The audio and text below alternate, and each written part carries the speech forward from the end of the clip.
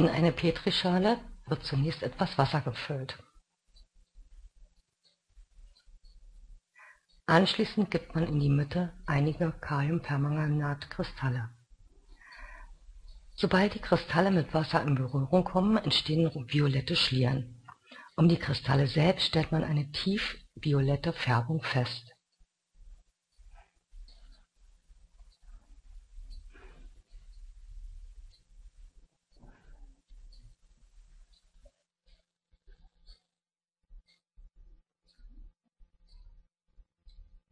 Wartet man längere Zeit, so merkt man, dass die violette Färbung sich immer weiter ausdehnt. Im Zentrum stellt man eine sehr starke violette Färbung fest, je weiter man nach außen geht, desto mehr nimmt die Intensität der Färbung ab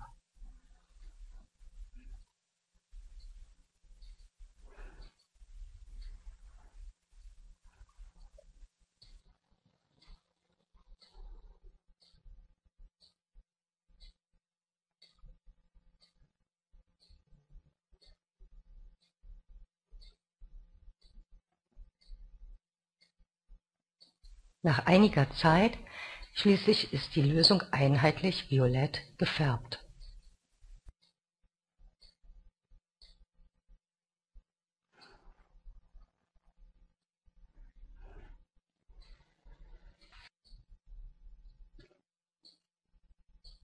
Diesen Versuch kann man relativ leicht erklären, wenn man annimmt, dass die Materie aus kleinsten Teilchen aufgebaut ist.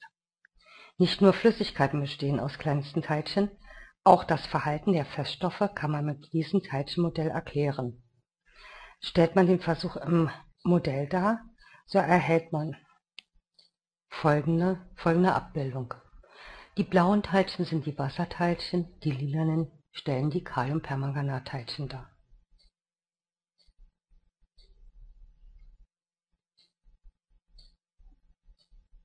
Die Kaliumpermanganatteilchen und Wasserteilchen sind gleichmäßig verteilt Deshalb ist die Färbung des Wassers einheitlich.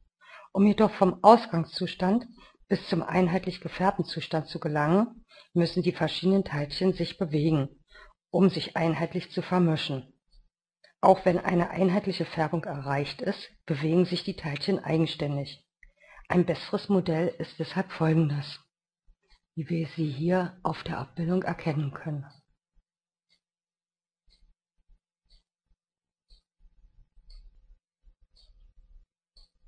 Da sich die Teilchen eigenständig bewegen und vermischen, bleibt die Lösung einheitlich.